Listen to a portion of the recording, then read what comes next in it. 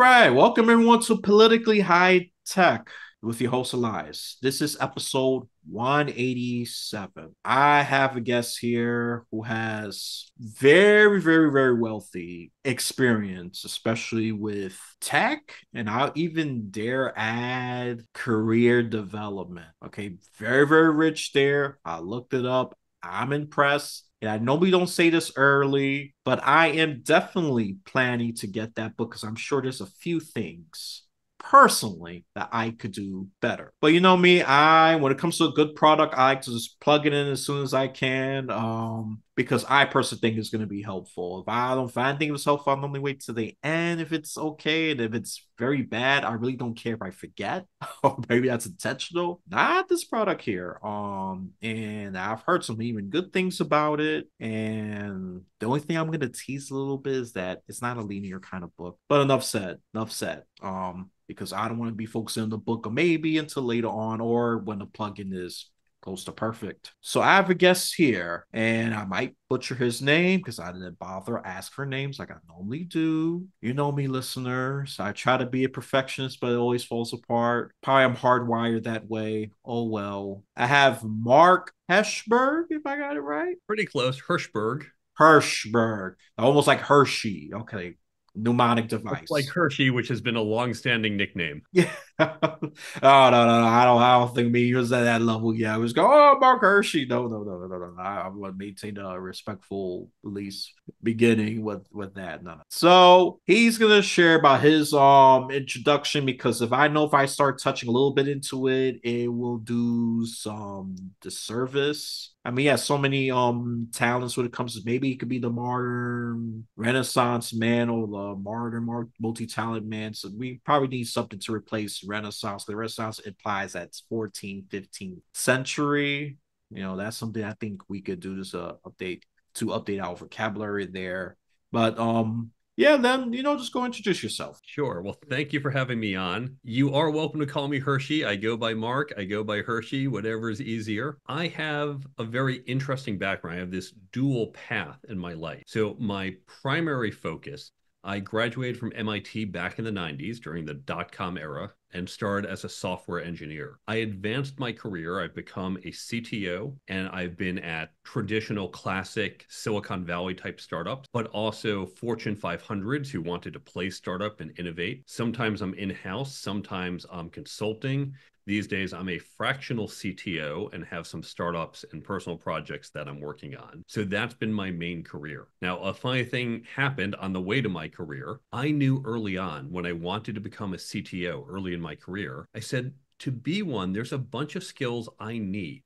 It's not just about being a good engineer. Certainly, I need to do that. But there are other skills like leadership, networking, negotiating, team building, stuff I've heard of, but no one ever taught them to me. So when I began to look at my career, so I have to train myself, quickly realized these skills apply to non executives as well, and began to train up my team. And as I was doing this, MIT came along and said, We're doing the same thing. We've got this feedback from companies saying they want to see these skills and they can't find it, not just with engineers, not just with new college grads, with everyone. So we put together a program 20 plus years ago to get these skills into our students. And I've been teaching there ever since. Totally unexpectedly, that turned into my book, The Career Toolkit, and the app now, the Brain Bump app. And so, in parallel to building tech startup, and I'll talk about tech startups a little more in a moment, I've also been teaching these professional skills. Now, within the tech world, my background, my graduate work was in cybersecurity, and I've been in and out of cybersecurity. I've run AI machine learning teams for over 10 years. Some of my patents touch upon AI and machine learning. So I've been in and out of that space as well. Ah, yep. So you see why I didn't do the introduction, listener, or do you for well for the audio listeners, do you hear why? Do you hear why? I'm sure I was gonna just say, oh, he's a CTO, MIT professor, and all that. And yet yeah, no, no, I think, nah, of course you killed it with the introduction. So that's why I didn't do it. Sometimes I just know when to just stay in my own lane because when I have an instinct that I'm going to butcher it, I don't want to be in the way. Okay. Um, that's just me. Uh, but if I'm confident to do something, then uh, of course I initiate. But that that's just not the case, right? If a person's real simple, Just like the last episode about the AI, using AI for predictive behavior, how to make more sports gambling decisions. That one was confident. Very easy introduction. And they, of course, I'll elaborate. But this one here, I'm just giving you a little bit of a difference. If it's if it's very extensive, nah, let them do that. Um, of course they could do that much better than me. That's their experience, not mine. So I already before we even did the recording, I already gave a little hint or even sprinkle, if you will, if you want to use a more culinary term of about AI, people's skepticism of AI or fear of AI. You already know me, listeners. I'm a cautious optimist when it comes to AI. Um, even though ironically I'm a Christian, so I, of course I get blown back from hardcore Christian organizations that sees as a new Terminator, Skynet, or iRobot gone crazy, or you know the Age of Ultron, whatever nerd example that that depicts AI, robotics, you know, either want to dominate humanity or wipe out humanity altogether because they see us as flawed, crazy organisms. Okay. I know some of you still have that thinking, but if this was mostly a Gen Z audience, I'm sure most most of mine not even have that thinking. But I know, yeah, towards my age group, the millennial group, and the Gen X primarily, I know some of you got concerns, or some of you is even embracing it really. You know, I want to address those who are still fearful of it because you lay that fear hold back. And according to history, but just a little history nod, technological disruptions happen. Car was a big thing.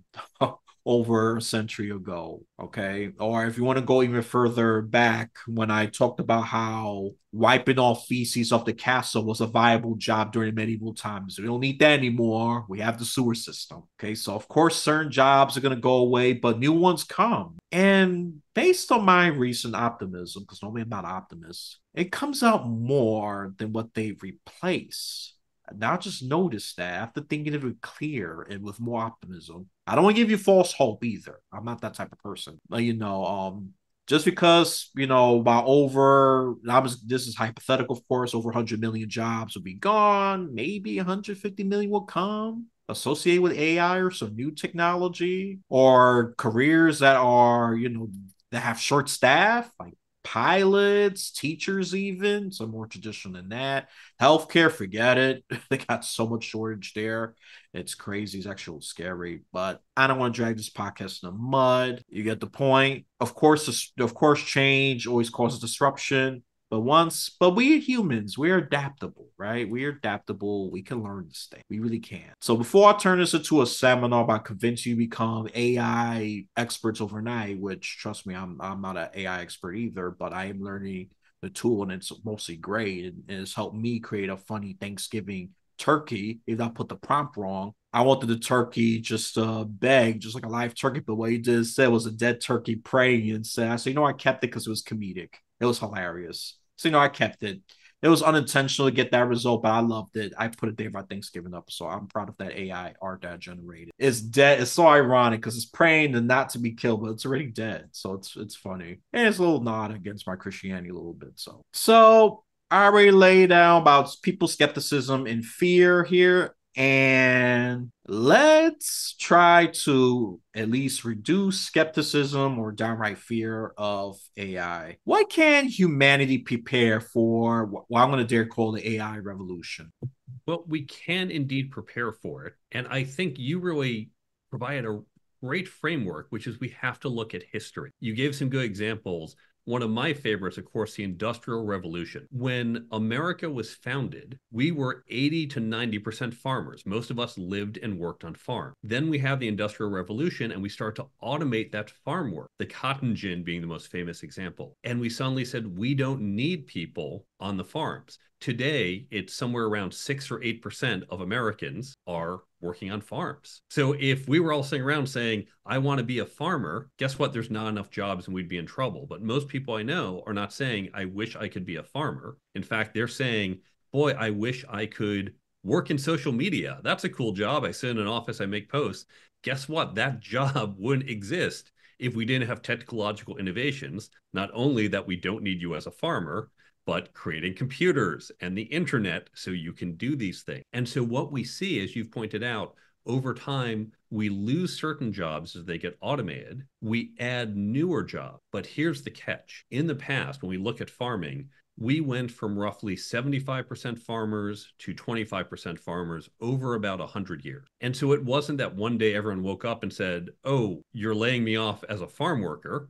It just slowly over time, they needed less or people would leave the farms to go work in the factories. That's where the new jobs were. And it was a somewhat gradual transition. That's not to say there wasn't disruption. There wasn't groups of people saying, I want my jobs and this isn't working, but it happened over 100 years. The worry is if something happens much faster. Consider, for example, elevator operator. There was a 10 year period where we went from you need an elevator operator to now there's maybe a few thousand in the country. I know here in New York City where I live, there's a few buildings that keep them for obviously historical reasons, but they could replace them. So we're worried, for example, driverless cars. There's about 3 million drivers, professional drivers. I forget if that's taxi drivers or truck drivers or both. But if over, let's say, three years we replaced all of them, suddenly 3 million people 1% of the population gets displaced and they don't yet have new jobs waiting for them. They're not trained up. So that's the worry. That's what we have to prepare ourselves for. Thankfully, we can look at history and we can find ways to address that. Yeah, uh, you know, I, you know, okay, this is when I throw my East Coast, West Coast beef. This is all New York. I'm in New York myself. So there you go. Little New York S. Is that the first time it it's happened. It's happened a couple of times already. I'm losing count. Remember, my first guest was more of a progressive, a very good author, by the way, about how he explored about the porn industry. But you're not going to talk about porn because I'm trying to keep this professional friendly, not family friendly. I don't care about that, but professional friendly. You know, if I talk about that, that invites room for the Me Too and all of that, and I am not in that kind of mood to deal deal with that. Um, is oh, this was real professional. Yeah, I agree. So but this is a New York esque episode. Yay! I knew that, but I wanted to act shocked about it. You see, I got to push the Californians away. They've been dominating, doing well in my podcast. So, got to make come on. So, East Coast, we got to represent. All right, enough of my little petty rivalry with the West Side. Um, but you, but you talked about elevator operators. I rarely encounter one. They still exist, but of course, that particular job is at the brink of extinction. Extinction. It's not there yet. I'm sure it's gonna get there. It's not uh it's not uh if, it's when it's going to happen. I I met a couple of them, few of them friendly, few of them snobby.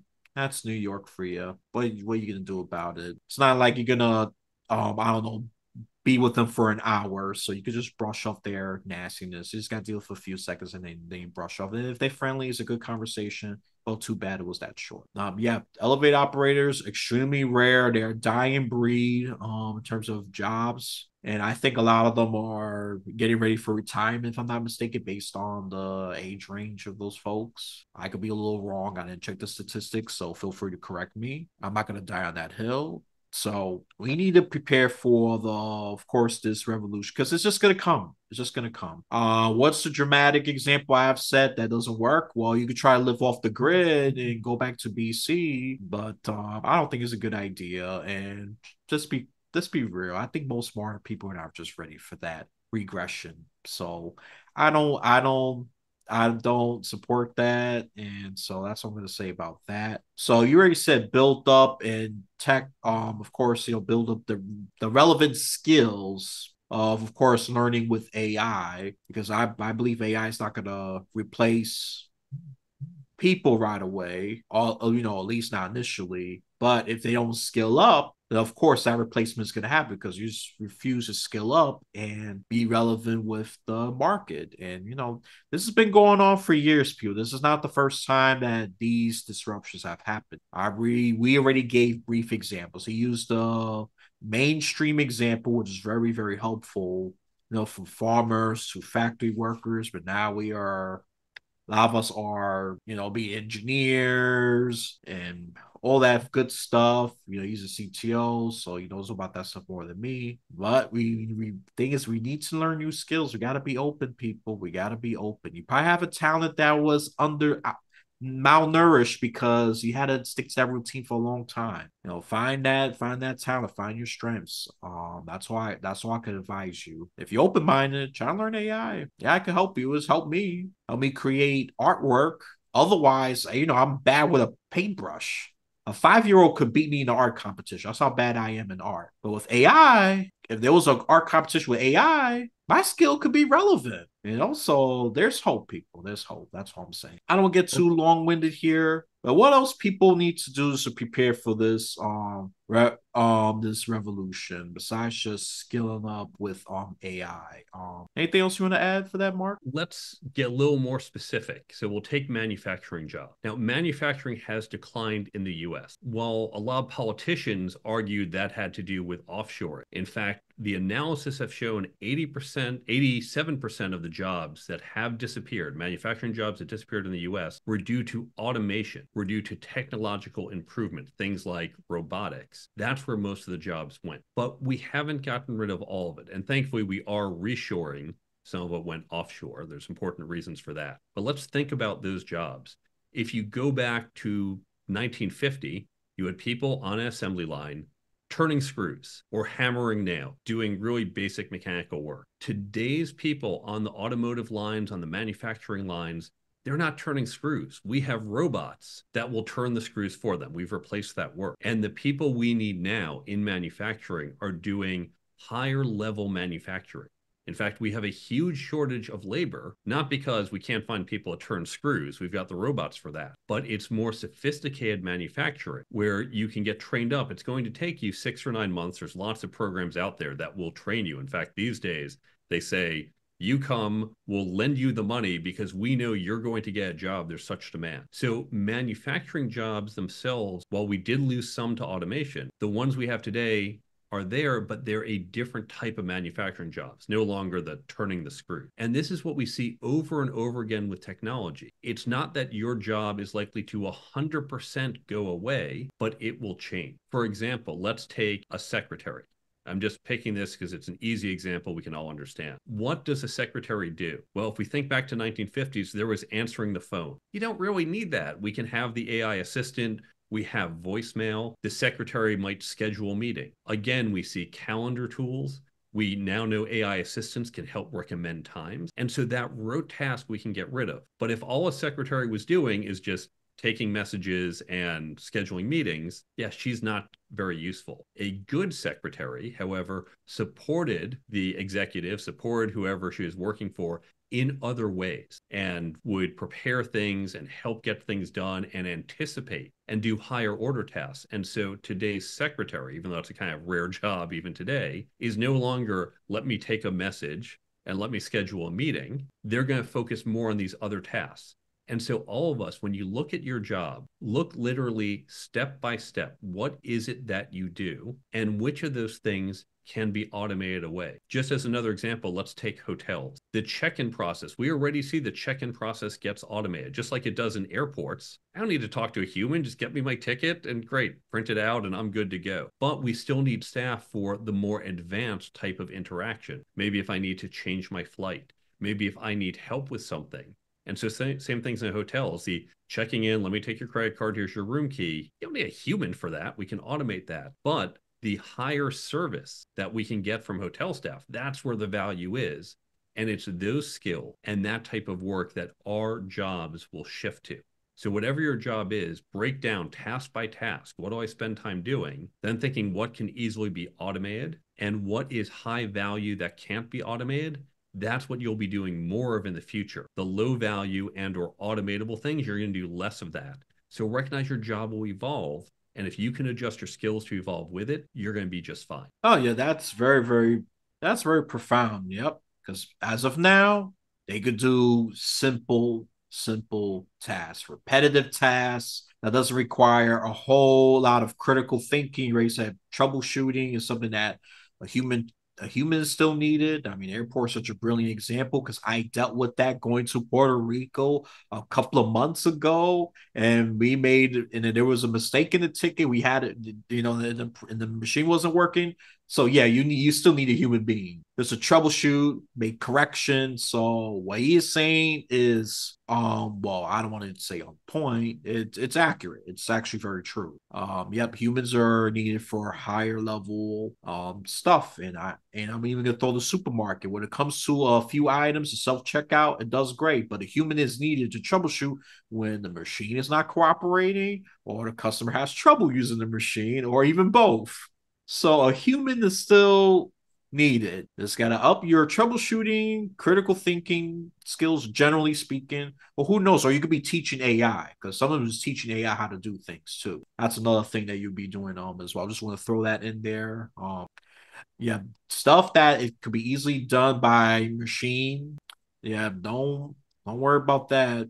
Focus on stuff that's more complicated that the machine hasn't mastered um yet. Um, cooking, I don't think it's fully mastered cooking, even though some restaurants have been automated. I don't have an opinion yet because I've never been to a fully automated restaurant or fast food um place yet. I don't have an opinion. If I don't know what it is, I'm not gonna have an opinion on. It. But one day I'll check it out and see how it is. Does is it better than a human being? Maybe I don't know. Maybe you could comment on that. Um, do you prefer human touch when it comes to food or automation? You know, that's something that's something that you could comment on. Um, I'm curious about your thoughts regarding that little um, comment I add to that. You know, you know, human and AI job shifts. You know, anything you used to do that didn't require a lot of brain power, yeah, that's done. That's with the machine. So just think about something that's not easy to automate something that's too complicated right now. I shocked that um AI has done well with artwork. I thought that was gonna be the last thing it mastered, but it's doing pretty damn pretty darn good with um artwork. So and I thought that was gonna be something that is gonna be the last thing that it mastered, but I was wrong on that one. Um so so let me touch on the misinformation thing because you know there's the fear part, the AI is gonna completely take their job away, it's it's created, arises, okay Get out of the way, you obsolete organisms. It's time for this fine robots to do your job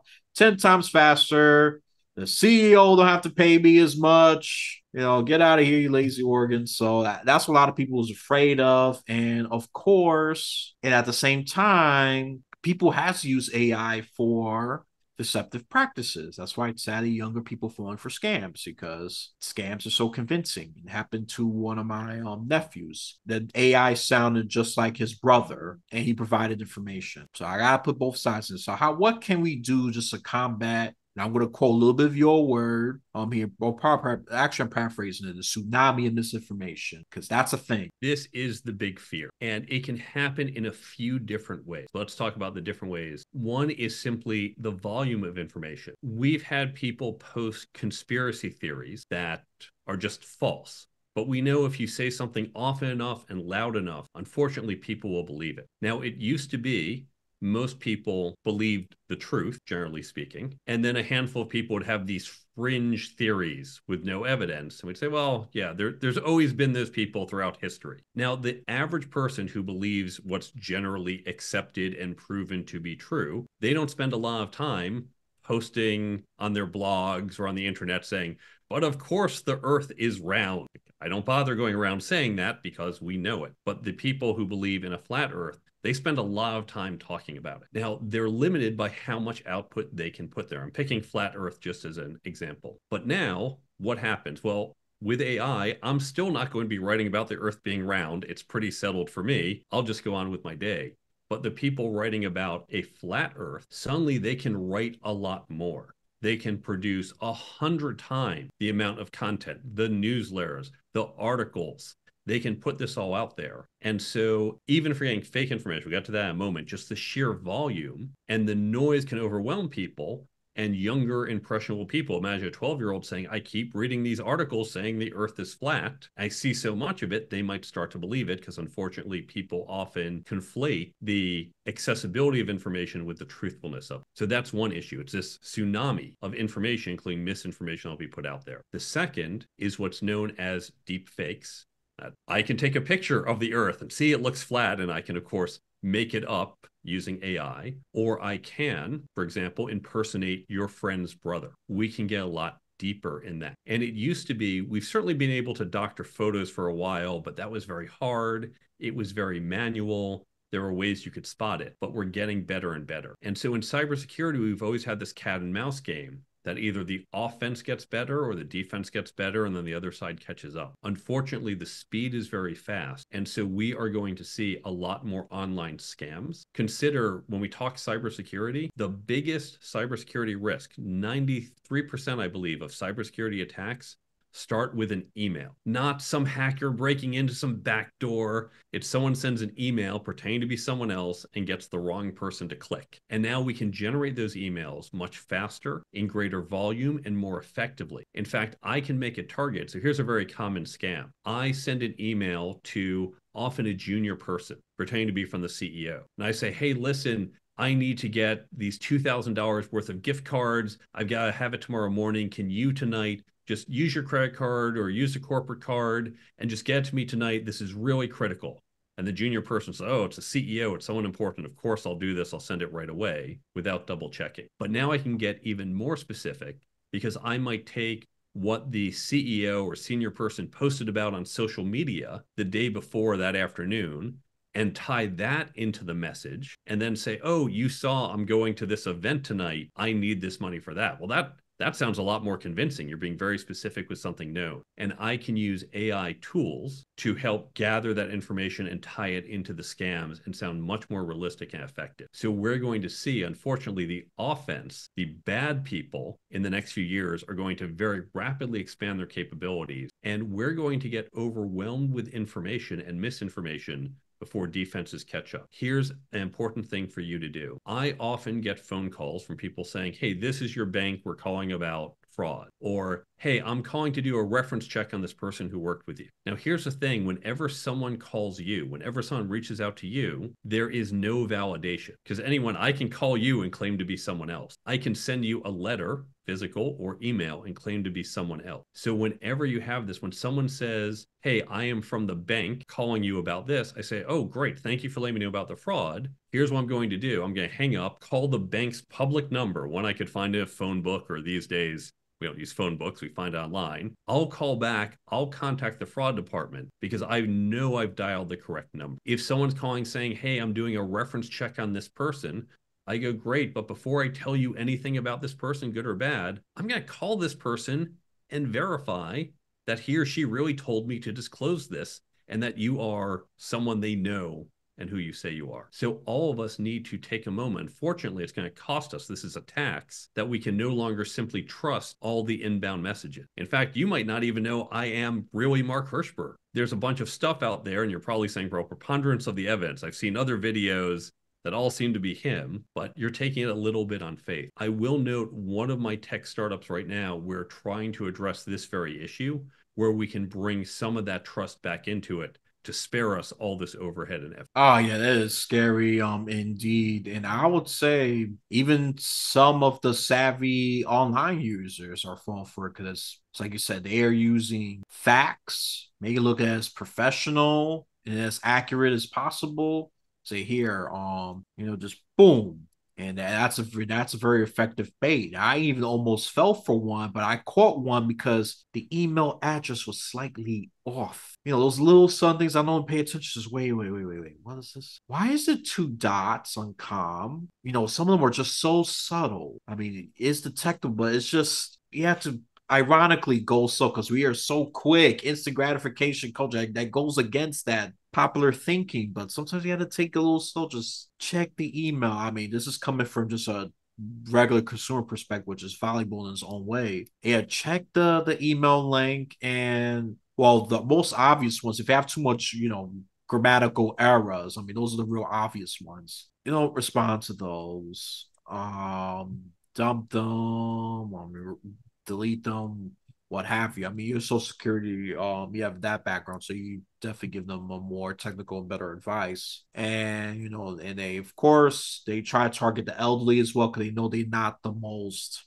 proficient. So they, you know, and I of course had to help my well, we a few of my older relatives, my family, just to combat against those those deceptive emails, whatever it is. And then you you know, they she almost fell for it, but it was a good they had a good relationship. No. If that person is real, you, try to have a video call. That person refused it. They repeatedly refused a video call.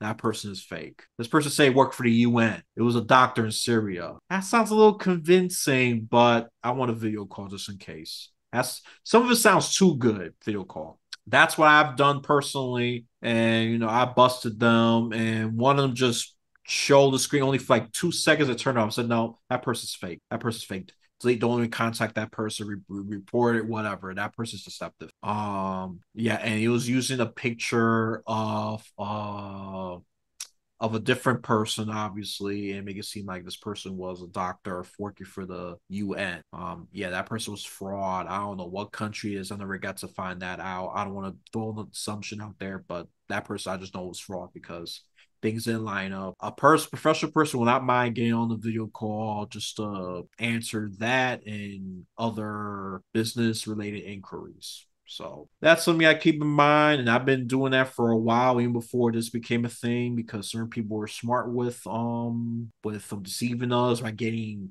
hundreds of thousands of dollars for those poor people that are so lonely and just don't know any better. It's sad to see. And, you know, you don't want to be a next victim. I'm not even sure Dr. Phil's still doing his show. You don't want to be a next victim of Dr. Phil as opposed to embarrassed because you've been scammed by somebody. And it's from various countries that are there, you know. Yeah, I don't want you to go through that. That's embarrassing. Yeah, ma'am. And yeah, it's really, really terrible. I'm happy I was able to prevent that from my family members. You know, I'm not a cybersecurity expert, but I use sense of discretion and I do detect patterns. So that's what I'm going to say about that. Anything else from that before I keep rambling on? I'll add a few things you can do. Here's a couple red flags, things to look out for. You pointed out one, which is look at that email address or URL carefully, because often they will use letters from a different character set not English, but maybe, for example, Swedish, where letters look very similar, or Romanian or other character sets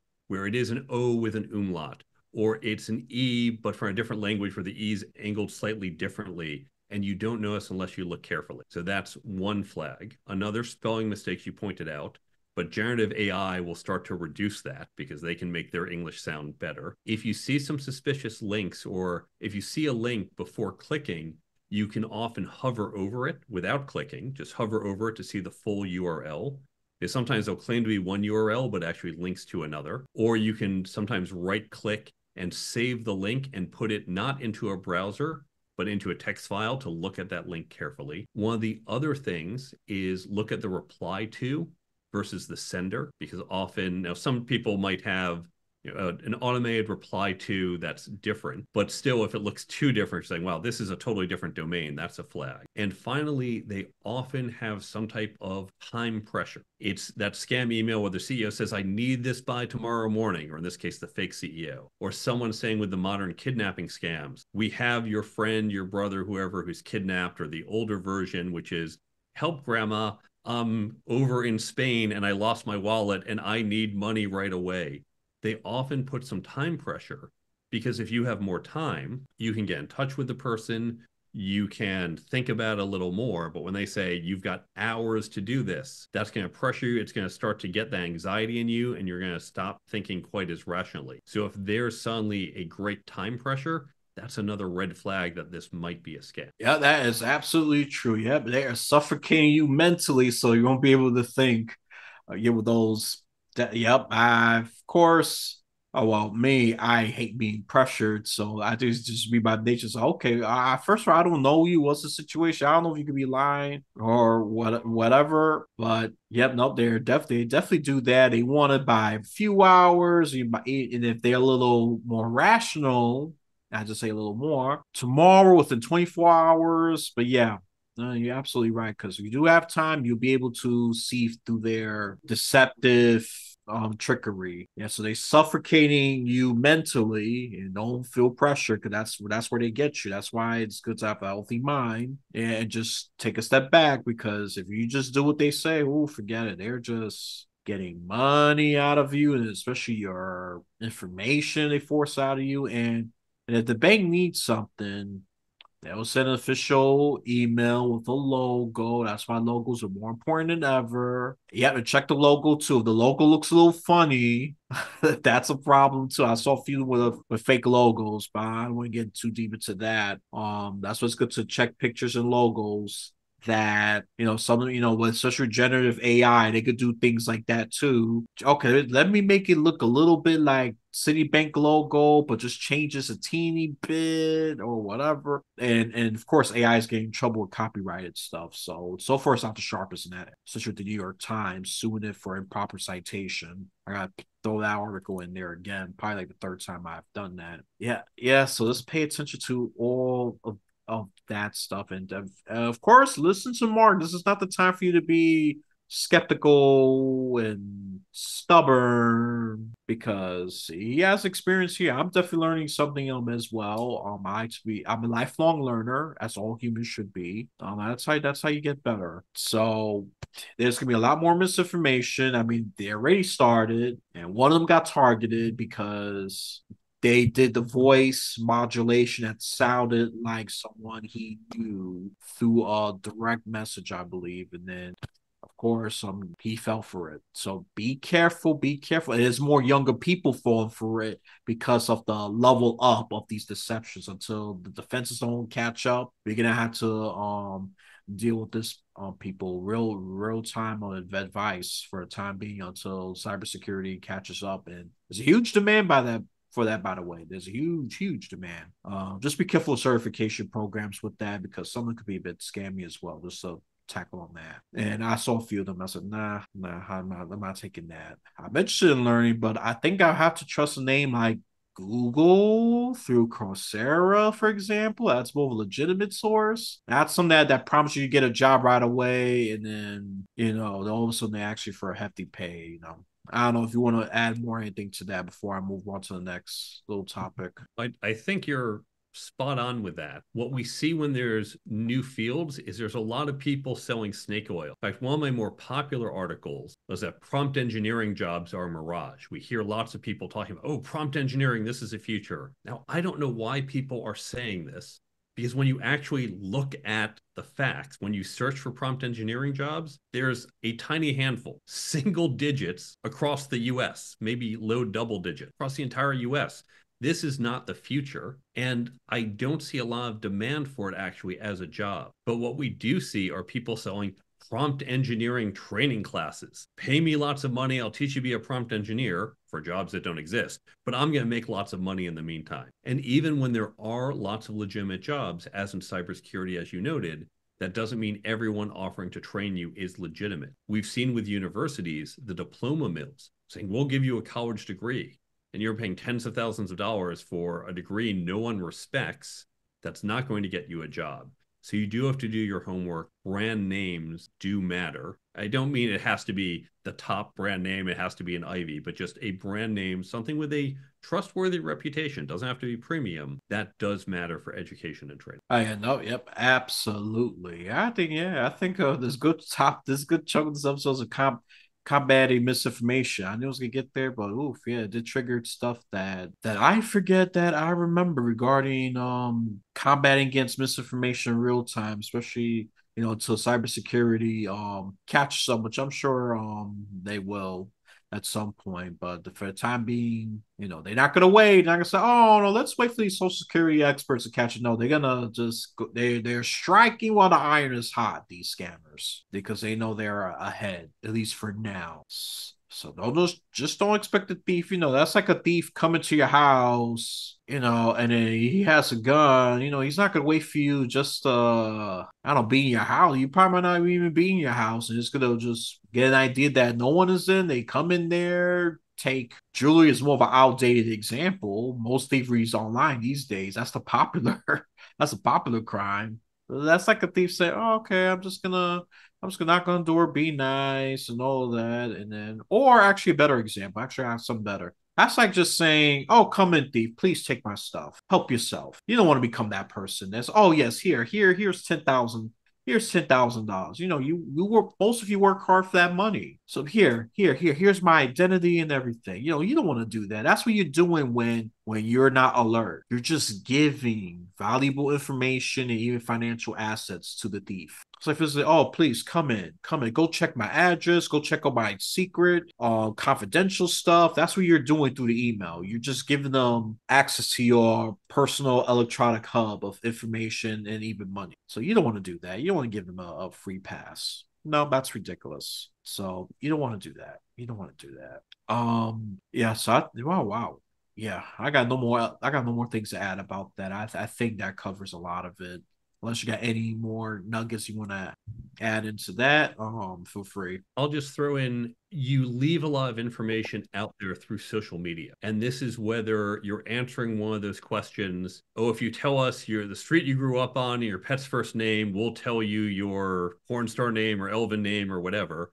Well, guess what? You just revealed some information that's often used as one of those challenge questions. Who was your first grade teacher? What was the name of your first pet? Even when you do things like have a photo of you with a pet, that might be your first pet. You're starting to say something, or, oh, I really miss my pet Spot. He passed away 20 years ago. You're giving away information. If you post vacation photo, hey, look at me, I'm down in Puerto Rico, I'm having a great time, and you post, post you on the beach this afternoon, well, guess where I know you aren't? At home. So we give away all sorts of information. People should be more careful about how much they put out there. At a minimum, consider your social media posts should be limited to ideally friends or friends of friends. But when you make it worldwide public, you're sharing a lot of information. And these attackers, these people who are looking for vulnerabilities, they have a lot of time and now additional technical tools to go source through that and use that to find your vulnerability. Oh yeah, no, abs- yeah, absolutely. That's why I'm a very careful social media user, especially my early twenties, where I just realized I was just posting stuff like, oh crap, yeah, you're right. I'm just volunteering information. I realize ever since then I've been more cautious. I try to treat it like a public room. Some very public, low risk, that's why I personally do. And you know, I'm not, you know, I'm not saying um, oh, okay, I'm at um, and trust me, I know people. And sadly, this is with my generation. They share, they tag where they're at, which hotel, and if they're really, really ig- ignorant for for a nice word, they even put the room number. So, what are you doing? What are you doing? Why are you posting tagging this stuff? And one of them tagged my place one time. I told him, don't tag my area. Take that, take that post off. Most me you're gonna have problems. I'm normally not this um aggravate coming aggressive, but that one I had to because I was exposing my information to social media. I said that post needs to be taken down. I said, Oh, I don't mean I don't care what you meant. Take that down. There are hackers out. You know, there's hackers, there are scammers out there all it's gonna take is one. No, take it down. Yeah. And me and a friend got into an argument on over that. I said, how will you like it when I post your mother, the address, even the door, unlocking the door, or even showing um, door combinations? You want me to do that? You're that's pretty close to what you're doing right now, you know. And I got I got a very heated argument because of because of that. So you what you're doing, you're exposing me to uh, people out there, and all they need is just a, a thread of hope. They get more, more, more until they get the prize. What's that prize? Your personal information, financial assets. So you have to be careful you post. And I hate to say it, the uh the other generation, I'm not sure if they're even learning that because they post so much. Mean, people share more than ever in social media, more than ever. Before it was bit tamed when Facebook was a thing. If I'm gonna age myself a little further, MySpace was a thing. And well, I didn't get into well, I the dot com thing. I was too young to even participate extensively with the computer. I was I was still in grade school when that happened at dot com. Interesting time. I saw a documentary on that, but I, I, I don't want to drag it down there. Interesting time. That's all I'm going to say about the dot com bubble. Um, let's see. So, what is going to take for us to flourish during this during this revolution?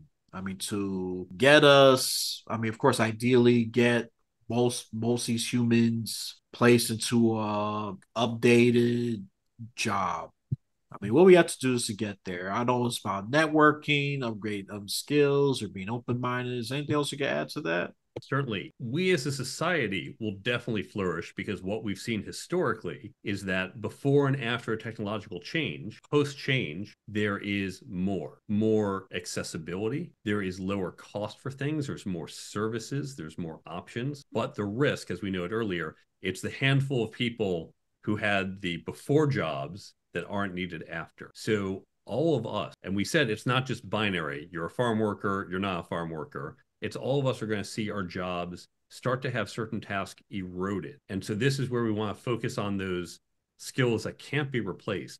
And as you're alluding to, it's a lot of the personal skill. It is strategy. It is critical thinking. It is creativity. It's the interpersonal skill, networking and negotiating and leadership communication, teamwork. This is key. Now, you might be saying, well, communication, can't AI just write it for me? Yes, it can, but you need to think about AI, I need you to write this email. How do I want to write the email? Do I want to write it in almost a threatening way? Hey, you need to do this or else. Do I need to write it in a more respectful way? Hey, I really appreciate if you could do this. Do you need to write it in a way that I think you might not be happy? So I really have to write in a more convincing way and understand what your needs are and align to it. And you can't just say, AI, do this and make it happen. Maybe for a paragraph, but our communication isn't just one paragraph or never talking again. And so it's really larger thinking about those relationships and communication and interactions. Again, the leadership. Maybe you can write a speech or help you write it, but leadership isn't just a speech, it is about a holistic vision and moving a group of people forward. So those are the skills we really do want to be working on, as well as again technical skills. By technical i don't mean programming per se. It's the we don't need farmers. We need people who are social media experts. Learn how social media works. It's obviously a contrived example. So look at what the jobs are. Look at what the mechanical skills are for those jobs and start to train up. That could be by reading, that could be by listening to podcasts, taking courses on things like Coursera, as you mentioned, or some of the alternatives, taking formal courses, courses through adult training, maybe at community college or a Y or other places, online, in person. We really want to be proactive in building these skills, both the mechanical skills and the interpersonal skill. And that's going to greatly increase our chances for success. Yep, you know, human interaction is still very important. That's not going to be obsolete. That's for sure. Maybe how we communicate will be different, but you know, humans are social beings. Um, if you would have talked to depress me about humans being social being, I would have hate that. But as someone who is more enlightened and willing to talk to people, definitely more. I'm definitely more outgoing than I, was, than I was when I was younger. Thank goodness we could evolve. We could change. Yeah, um, human interaction, networking is more important than ever. And yeah, I mean, and of course, you know, AI can only do so much, right? AI is great for certain things. Um, I think customer service jobs are still going to be around until AI learn how to perfect that because not all customers know how to ask help at least clearly. That's still going to need a human touch to it.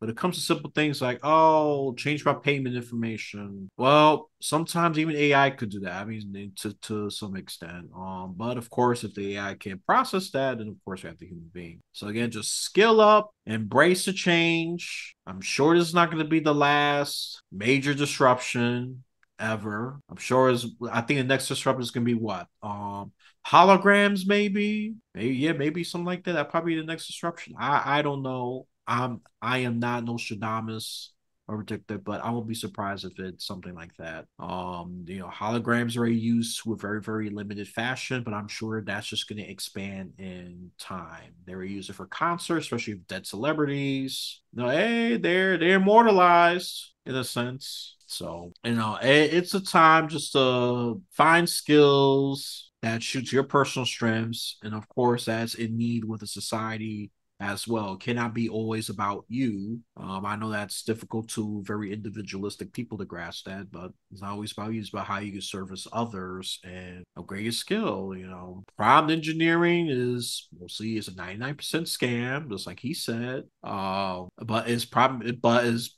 creating good prompts is part of the job? Yeah, part of it, but it's not. I'm sure it's not going to be the whole thing. Oh, forget it. I would have been. I would have been a millionaire by now. Okay, I could just teach you how to those good prompts. Um, you know, there's a bit of an art to that. There's a bit of art of guiding AI to what you want. You got to learn to communicate with AI, obviously, because if you have a vague prompt like I did, I didn't get what I want with the turkey thing. Even though it was comical, I was trying to have a live turkey do a prayer, but instead it was a turkey already cooked do the prayer it was already dead. It was something humorous. I said, you know, I'm going to keep that because it's something humorous. And that reminds me of where I was at at one time. Not creating good prompts to guide AI to create artwork that I exactly wanted. So that's all. It's, look, learning takes time and take um yeah take some courses on that um coursera is relatively affordable compared to uh to a certain college degree or definitely the scam universities that wants thousands of dollars pretty much up front. So it's probably like 50 60 dollars a month if I'm not mistaken. Probably changes, you know, I'm sure these things have changed, but don't quote me on that.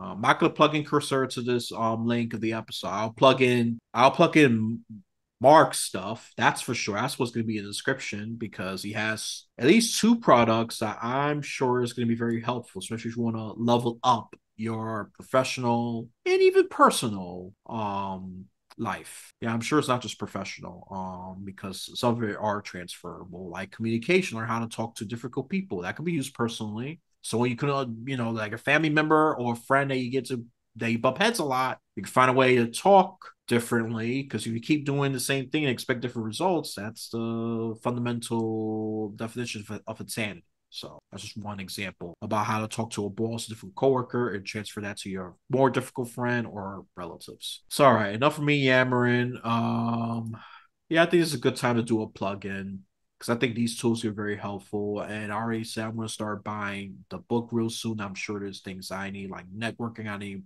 in that, and see what are leadership skills I need to learn before I can become a leader myself. That's just me. You might have different needs. Uh, and the funny thing about this book is I could say that it's not a, a linear kind of book. I overheard you said that one podcast. that's good because some people just need something right away. They're not going to read through all the career planning.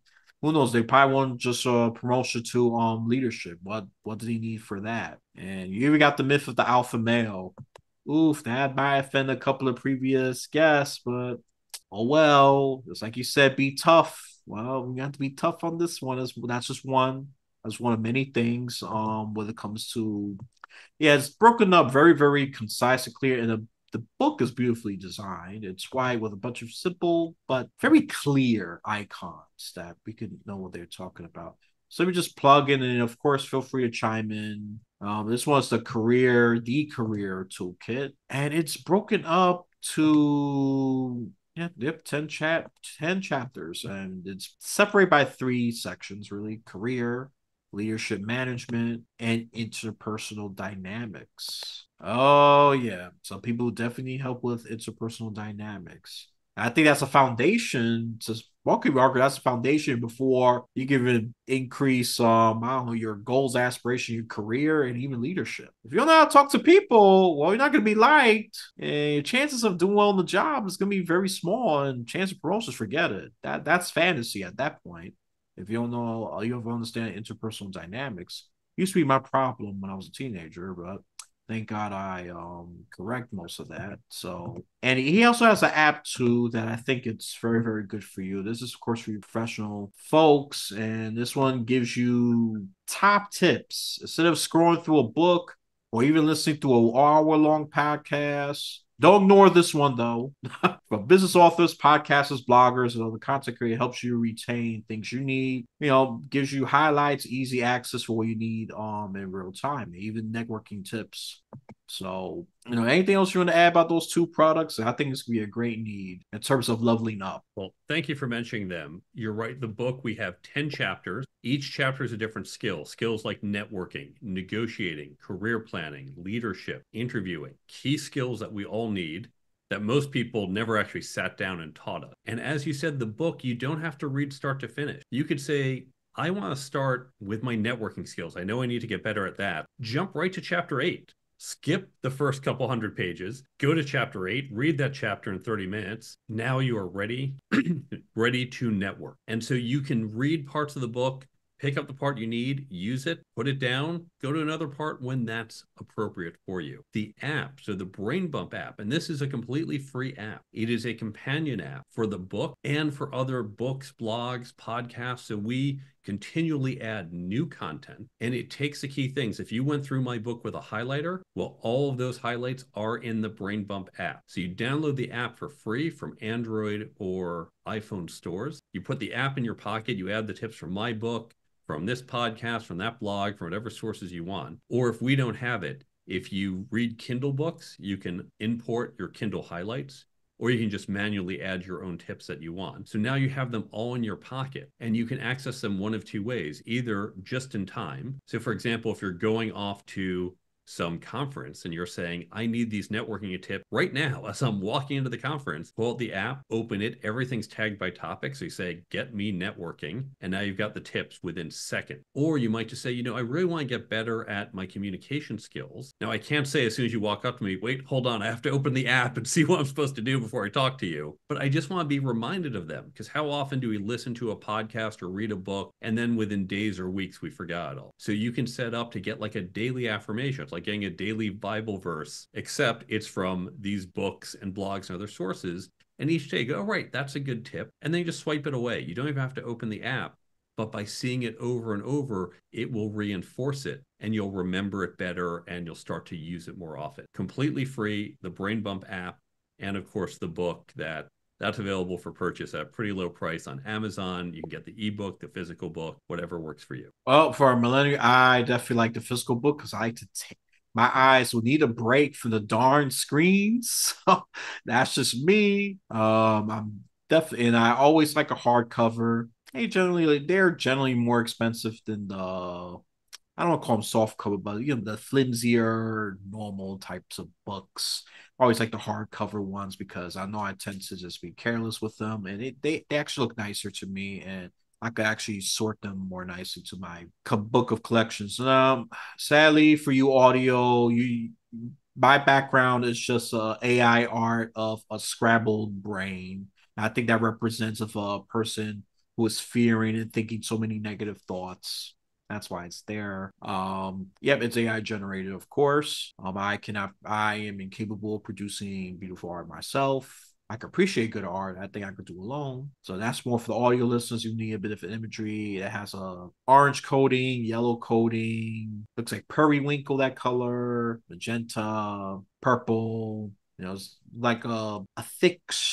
No, it's not a string like a bunch of colored molecules just lining up, just representing a human head, and in the back just wires or brains going a bit haywire in there. That's why I picked it because I think some people's brains are doing that right now with this AI um, revolution. Revolution. So, so just having more focus and just like you said, repetition. These lines will probably look more beautiful and stay strong instead of being wobbly and all over the place. So that's one reason why I mentioned his um artwork. It's a bit abstract, not my taste personally, but I think that it conveys the point. So let's see. I hope you learned something, listeners, because this is very, very valuable. This is more my serious, getting in depth into a topic kind of thing and this is definitely transformative kind of um stuff i want to do this more often i think this is helpful i don't mind having fun or being a bit dramatic but that's superficial me, make you feel good, but I want you to become better. Okay. That's why I do this political podcast because I see so much misinformation and so much talking points from the left and the right. And me as a proud and registered independent, yeah, there's things that needs to be addressed. I don't think it's not being talked about, and I do my best to, to minimize the partisanship if I need to explain something. Sometimes I use partisanship just to explain a point, Sometimes the left wing will understand, sometimes the right wing will understand it another, way. You know, I want you become not just an interesting human being, but a more intelligent, fun human being too. We could do all those, all those things. Our brains are malleable, not stuck. It's like a rock that takes so much hard work just to chip it. It's going to take work for us to shape our brains, but it's definitely doable if you train it and exercise it. Exercise is hard at first, but it gets easier, even mental ones. So that's all I'm gonna leave you with. I hope you gain something out of this, listeners, because this is coming from an expert here and he has a lot of valuable advice. Before I wrap this up, is there anything you want to add, Mark? I think we we We covered a lot of the, the key points. For those who are maybe hearing this while you're driving or jogging, you may not go to the show notes. I'm just going to mention the URLs. For the book, the URL is thecareertoolkitbook.com. And there, not only can you learn more about the book, you can follow me on social media. I put out articles every week, and there's a bunch of free resources. You don't have to buy the book. You don't have to sign up for my email. You can get all those free resources, the blog posts. All of this is at thecareertoolkitbook.com. And the Brain Bump app, you can find it on the stores. You can also go to brainbumpapp.com and you can follow links to the stores. There's a 90 second video showing how the app works so you can understand what it is but that app is completely free, as is all the content, and that's at brainbumpapp.com. So that he's not even forcing you to pay for it. See, that's benevolent capitalism. or freebieism. Not a real word, by the way. Just throw that in there. Freemium, that's more of a real word. Freemium content, especially with the Brain Bump app. Me, I still believe in purchasing books, and especially if a physical book, because I like to I like to take a break from the screen, like I said, and but I'm not going to regurgitate that um, any further. All that he has mentioned, that's going to be in the link description as well. His social media, of course, on um, both of the products, um, the Brain Bump app and the career toolkit. Of course, I always do that at standard practice and whatever social medias I have um, access to to share with them. Because me, I believe in the more options you have, the more likely you're gonna do them. The easier I make it, you know, make these easier is a big encouragement for many people. And I try to do it as much as I can. And then if you want any feedback, please provide me feedback. There's probably a few ways I'm not realizing, I'm being thick headed on because I'm not paying attention. You know, you help me out, listeners. You help me out, really. So, with that out of the way, with that out of the way, like, comment, share, subscribe or follow. Subscribes for YouTube terminology and follow is Rumble terminology. And then for ACAST, well, I forget the button because I'm gonna just own that hosting thing pretty soon. Once I'm done with this season, I'm going to a much better um host. I'll let you know when I make that change. And it might mostly gonna be better for you because it's more podcast friendly than Acast. I'll tell you that much. That's a little bit of a hint. It starts with Buzz. That's it. That's only hint I'm going to give you. So, with that out of the way, you have a blessed day, afternoon, or night.